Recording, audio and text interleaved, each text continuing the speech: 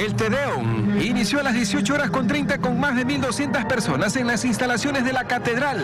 En este evento litúrgico como primer himno religioso católico se lo entonó para pedir por Guayaquil en sus fiestas de fundación. Todos los años se hace el Tedeum, que es la acción de gracias.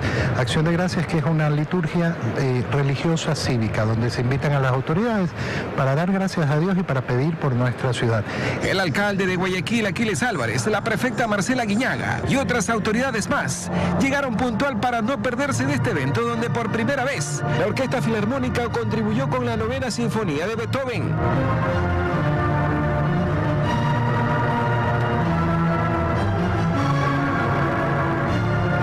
Nosotros somos hombres de fe. Eh, somos obviamente seres humanos y pecamos, pero lo importante es reconocer los pecados, volver a Dios siempre y volver a empezar. Así que hoy Guayaquil en sus 489 años de fundación necesita reconciliación en general y acá estamos. Contentos, felices.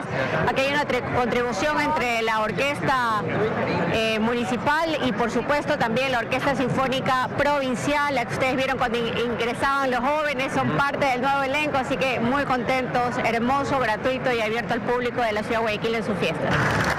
Los asistentes disfrutaron y aplaudieron el acto.